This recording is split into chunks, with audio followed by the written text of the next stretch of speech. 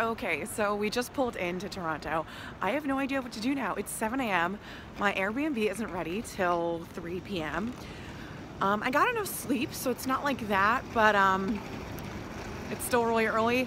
Also, I can't figure out the Wi-Fi. I did buy an international thing, but I don't know how to use anything. So I'm gonna try and just stumble upon a Starbucks or something and try and figure stuff out there. So I thought an 11 hour bus ride would be god awful and by 4 a.m. I'd be like, why did I do this? But it actually wasn't that bad. I was able to sleep. Um, no one sat next to me, which I was like, thank God. Um, so I had like that, you know, kind of space. And then, thank God, um, at the first rest stop, I bought a neck pillow, which was like a saving grace, and I bought a little blanket. So that really helped. So I, I slept pretty well. I did wake up like 20 million times, but I was able to go to sleep pretty well and like stay asleep and feel rested. And it wasn't that uncomfortable. Uh, so, like I said, I'm gonna try and find. I'm actually gonna try and find a hotel just to pee in their lobby, and then go to a Starbucks and use their Wi-Fi and just kind of like see what where I want to go from here. I just filmed a bunch in public and I realized I wasn't actually recording. So I just went to like a Marriott or a Hilton, used their bathroom and stuff, um, brushed my teeth, put on like fresh-ish makeup, and then I used our Starbucks to like get my bearings straight and stay warm and stuff because I thought it'd be a little bit nicer, but it's snowing here.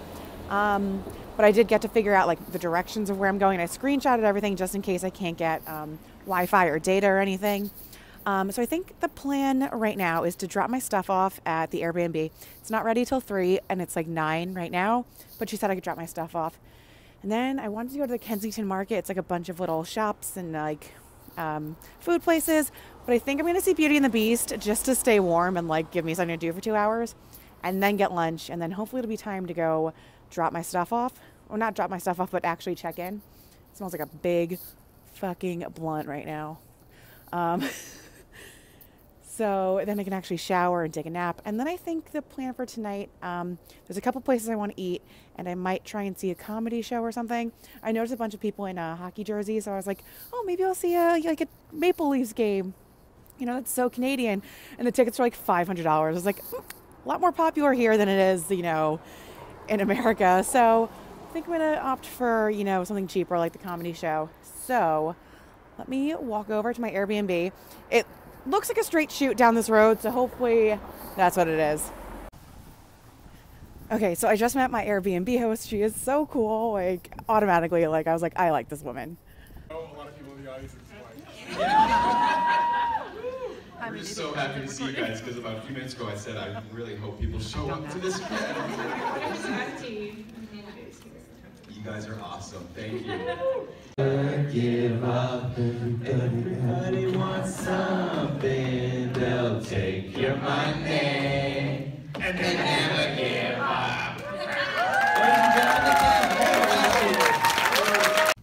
So I did get some Canadian only food, like these ketchup chips and then these Kinder Surprises. So I do need to finish these before I go back to America. So I will definitely be plowing tonight. So it is 10 p.m. and it's my last night. So I'm kind of gauging on if I want to go to the bar like across the street alone because I haven't been like to a bar. So I'm like, I could go for like a beer. And I think it's fun to do when you're in like a new city. Um, and it's not that pathetic to go to the bar alone when you're on vacation. So I'm debating it, but I can also just kind of like fall asleep. So I don't know what I want to do. All right, so I'm gonna make the attempt. I'm gonna go at least walk by bars and if I feel so inclined, I will go in for one. Into one for a beer. Okay, I went out to a really cool bar. It's literally right behind me, so that was perfect location. Had two beers. I, like I said, I don't drink that much anymore, so I'm a cheap date, so I'm like a little buzzed, so I feel good. Um, I do realize I have to get up pretty early tomorrow, so going back, gonna go eat my ketchup chips and uh, go to bed. It's 11.45 at night, and I'm whispering. I'm about to try ketchup chips for the first time. It's a huge chip. It's gonna blow up in my face. But let's try this Canadian delicacy. Oh, these are good. Well, now I have to eat the whole bag because I don't think it can come through customs with me. okay, after today at least, an Uber, an 11 hour bus, and a train. I am finally home and disgusting, but I'm home. Okay, so excuse my messy room, but I figured I'd kind of recap the Toronto trip while trying some Canadian candy. So I have a few. I have, let's see, a Kinder Surprise, Crispy Crunch, which I already did have one, and then Aero. So we'll be eating those. It's not a mukbang, but I'll be trying Canadian candy um, during this. So I guess um, I included my footage. Oh, my house is shaking. Um, I included my footage of me getting there and all that stuff, but I didn't really get to vlog too much. Um, so the bus there was not as terrible as I thought it would be. I've done, I, I did a cross-country train trip, so that was 40 hours. So I was like, oh, 10 hours on a bus won't be that bad. And it wasn't. Like, thankfully remembered where a Starbucks was as we were pulling into the bus terminal, and I kind of like got my way back there, even though I'm so directionally bad at that stuff. And the last day I figured out I actually had the data all along. I just didn't know what to switch off, but I did have it all along. So didn't need to keep running in and out of random Starbucks the, whole time. So I guess we'll go with the Kinder Surprise first. So when we got there, I, like I you saw, I hid in a Starbucks for a while, kind of got my bearings straight, Google mapped everything I kind of wanted to check out. Um, but it was kind of raining and I was hoping I would get to explore more. I wanted to like walk around. There were so many cool art walls. I stayed in like the arts district, um, like Queen Street, and there was just so much cool wall murals that I wanted to like, well, I wanted to take pictures of them, but there was no one around to take pictures of me, but, and it wasn't that nice out. So, um, I also wanted to, the whole kind of trip was to meet Laura and meet the Degrassi cast, but I really wanted to go to Degrassi Street, so um, that didn't end up happening. I also, I messaged the producer of Degrassi, The Next Generation, and he did the old Degrassi too, and I was like, I'm coming to Toronto from New Jersey anyway, I can get a set tour, and he said something like, oh, we're on hiatus, so he never really said no, so I might come back. Um, so this is a Kinder Surprise, so it's a chocolate egg, and I believe they said there is a toy in here. So, let's go. Fitting because tomorrow is Easter. oh. Oh. So, pretty good. Basic chocolate. I think there's a lining of white chocolate. And there's the toy right there. I thought it'd be like a little thing. I feel like we had something similar to this in the United States in the 90s. And there was just like a little not toy, but it was like a different kind of candy. It was like a Pez, but it was like shaped like a bear or something. Does anyone remember those? Okay. What kind of toy is this going to be? So this is what's inside. Laura's friend, who I met, Brienne, she was saying she was eating one of these in the car. this popped in her mouth and she started choking. But this is pretty big. Can't open it for the life of me. Hold on. Let me suck some chocolate off of it. Okay. Oh, oh, cute. So it looks like a Lego or something. It's like a dinosaur. I'm guessing I have to put this together. It is like a Lego. So there's like a dinosaur head in there. So that's really cute. Okay. So that's something we don't have in the States, a Kinder Surprise. So it's chocolate and it's a fun toy. So next part of my trip. Okay, so then my Airbnb host said I could drop my stuff off because it was still too early um, because the people who were in before me were still there. So I get there. She was so cool. You know when you just meet someone right off the bat and they're just like really warm and inviting and just cool? She's just like that. So I was like so in awe of her. I wish I could be like that. Um, if you ever meet me, I'm very cold in person. I don't mean to be. It's just my aura. So she was just like right off the bat so warm and she was so, so cool. She runs a rock and roll camp for little girls. Like, can you get cooler? No. So she, also had a music studio in her um, apartment. So everything about her was so dope. Um, so we were chatting in her, um, in the front little hallway. And she, I told her I was there for Degrassi. And she knows, um, if you're familiar with the Degrassi of like the 2010s, um, Jane, who was played by Paula Brancati, she knows Paula. Like, Paula's been to her apartment, like knows her band, sees her bands all the time. And like she could text Paula. And I was like, oh my God. She also knew Lauren Collins, who is Paige Michalchuk. And if you don't know who that is, have you ever seen Degrassi in your life? So she also knows Lauren Collins. So I was just like, my mind was blown because like I literally like came for Degrassi stuff and she knows like two Degrassi people. So I thought that was really cool. Um, so after that, I dropped my stuff off and then um, I went to see the movies because it was snowing. So I couldn't explore that much, which kind of bummed me out. And I was like, I need to kill a couple hours. So I ended up seeing Before I Fall. I wanted, I always confuse that with If I Stay. So Before I Fall and Hidden Figures. Um, Hidden Figures was amazing. And Before I Fall was really good too. I read the book um, a while ago and I think it's, you know, it's good. I'm not mad that I made, I paid money for it. I feel like it was more of a, like a Netflixy kind of movie. Um, I my teenage badass. Um, one of these movies I paid for. The other one I snuck into. I've never snuck into a movie. Um, I feel like that's a very like, I'm 14 doing something cool kind of thing. I feel a little bad, but, um, the opportunity arose and I did it. So someone's gonna watch this video and be like, arrest her. Um, so that was a good like four hour block of time to kill time with. Um, I do love that Canadian exchange rate. I was like, popcorn, soda, charge it. Cause um, the Canadian exchange rate I think is 75%. So if it's $10 Canadian, when it comes up on my credit card statement in America, it's only like $7 and some change. So I was like, go for it. And then I went back to the Airbnb and it was all nice and ready.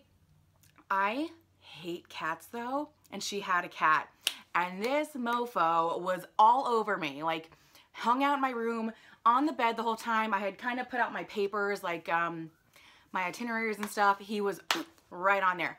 But he's such a fat ass that I was like, you're so cute. He was like an overweight cat. He was like 20 pounds. That I was like, okay, I'm really scared of cats. But this guy can't just jump up out of nowhere because he's gonna be so sluggish because he's so big. So me and Kevin bonded. He's cool in my book. So we, we were cool all weekend. Um, I would not let him sleep in the same room as me though because I hate, ugh, I feel like they want to just crawl on your face or whatever. So he could hang out with me when I was hanging out, but when it was time to sleep, uh, he was out of there.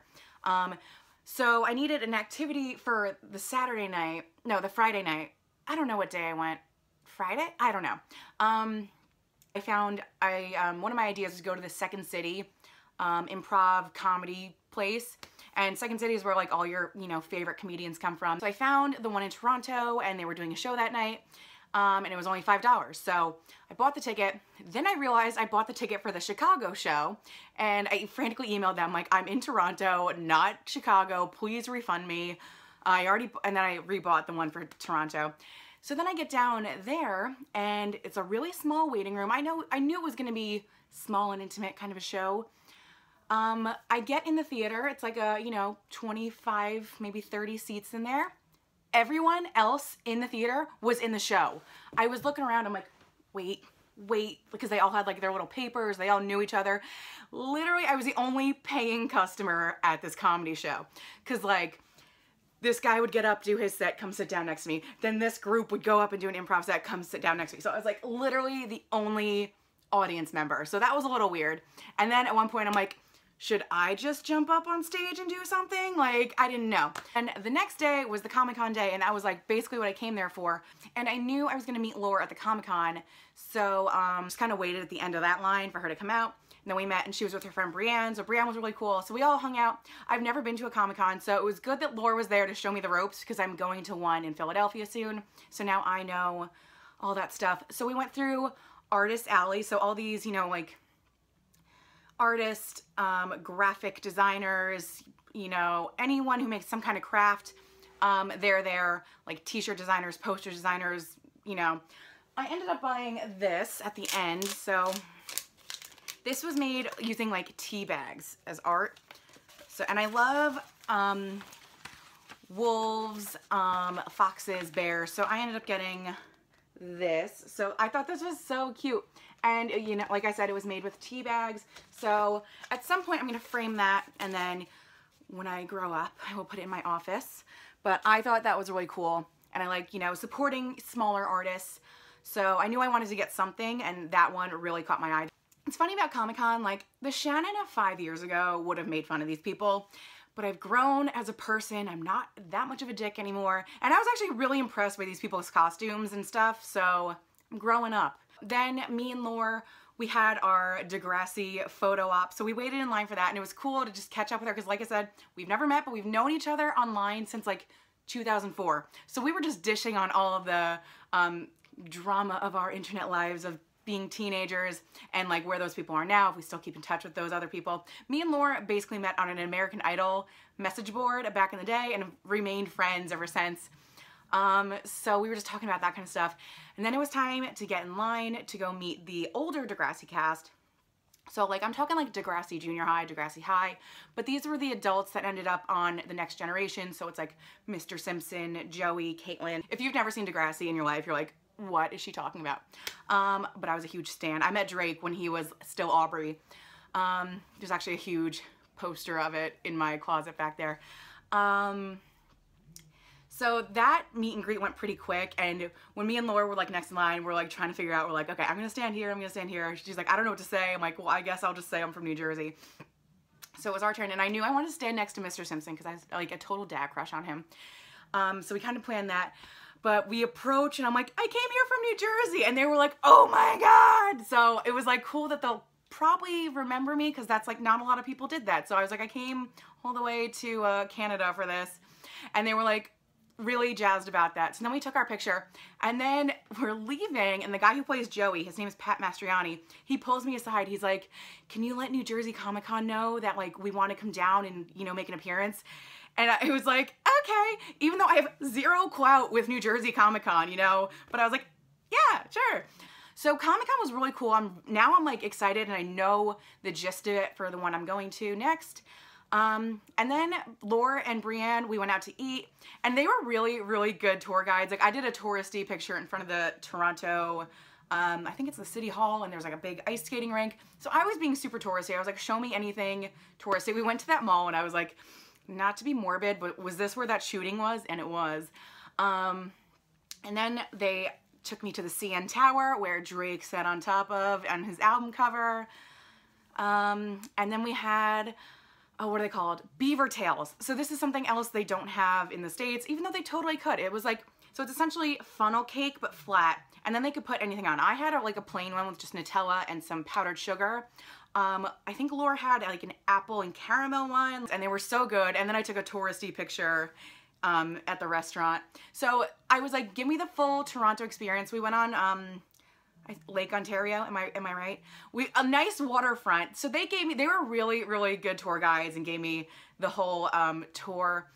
So then I went back and Kevin was on my bed again, so I had to get him out. Um, it was really my room. I think I showed you again. Uh, I, I'm gonna keep referencing of what I already showed you. It had like a Drake shrine, so it was all these nice little landscapes, and then Drake was in the middle. So I thought that was really funny. Um, and then the next morning I had to be on my bus by 9 p.m. a.m. So um, again in her bio about little places to visit, I wish I had more time because I read the bio and I was like, oh, I want to go here, here, and here. And I'm like, I have two hours left here. So it was like a nice little, um, pastry dessert shop. I don't know. It was so cute though. Um, so I got a chocolate croissant and some tea and I just felt very fancy. And then I got another chocolate croissant to go because chocolate croissants are my favorite, like, I guess pastry or breakfast thing. Um, and they're just a million times better in Canada. I'll get one at like Starbucks every now and then here, but they are so much better from like an actual Canadian, you know, bakery. I first had one when I went to Montreal, so it was even more like legit because it was like French um, but amazing. And I wish I had bought five. Um, so then I got back on my bus. It was kind of annoying because it's like a, a 10, 11 hour bus ride. We had to pass literally through my town to get back into New York for me to then take a bus back to New Jersey. And I was like, we were passing through my town, like, can they just let me off? They probably couldn't because there's rules, but I was like, I'm in my town. So that was kind of annoying. But it was funny because I got back to work the next day. Everyone's like, I love that you just like leave and get on a 11 hour bus and go to Canada. I love that you can just do that. And I don't mind traveling alone. I think adventures, little adventures are really fun. And I, I don't know, I'm just too tired of like asking around for people to do stuff with me that I'll just be like, going and I'll just go by myself. So um, I really like doing stuff like that. I, it's important to do while I'm young. I don't have kids. I don't, you know, have like a lot of responsibilities holding me down somewhere. So trying to do more kind of weekendy trips like that. But I loved Canada. Um, I definitely want to go back soon. Brienne and Laura took me to the store just so I can get all the candy and food that Canada has that I don't. So I picked up ketchup chips, which you saw me eat, and they were actually really good. Um, I'm sure if I search hard enough, I could find them in America. Um, so I, um, I had picked this and the Kinder Surprise, and I was kind of like on the fence about this, but then um, I decided not to get it, and on, on the way out, Brienne's like, bought you this. So thank you, Brienne. That was so nice. Canadians are so nice. I was like, even your homeless people are nice. So the Crispy Crunch, they're kind of like a Butterfinger. I actually already had one and it kind of hurt to eat. So they're kind of like a Butterfinger. So they have that really um, crunchy and then there was like a layer of, um, what is that called? Like, like hard caramel. So they're good if you're in the mood for that. Um, I, I, my like mouth has been hurting lately, so I won't be eating that. But I do want to try this Aero. They're like the um, they're infused with air, you know? So, okay, let's do this. Because my video is already 20 minutes long. Ooh.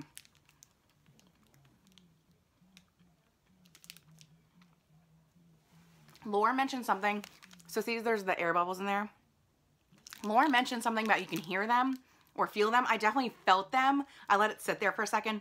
You could feel them going like, you know? This is really good.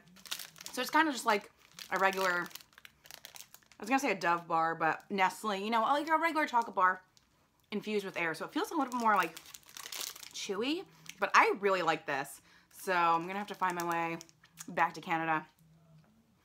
I, I didn't know if you're allowed to like get these back over the border. So I literally tried to smuggle them. I like wrapped them up in a towel and then I got to customs and he's like, do you have anything in your bag? And I was like, candy bars. He's like, oh, you're fine then. I was like, oh, I didn't, I didn't know like what kind of food you could and couldn't bring in and out.